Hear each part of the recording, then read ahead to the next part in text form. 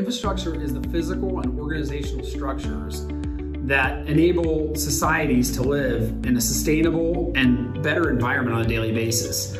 Think the projects like the bridges, the tunnels, the roadways that you drive to work on, the alternative energy that's being built out on a daily basis, the pipelines that give you water.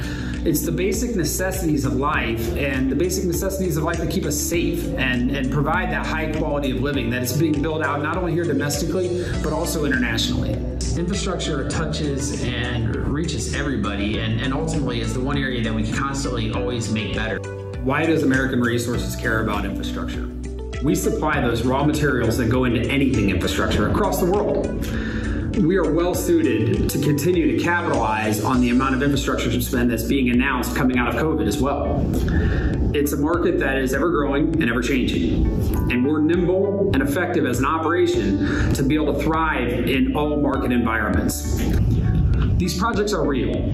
These projects are important and we're well situated to capitalize on this opportunity to supply the highest quality of products to the infrastructure marketplace.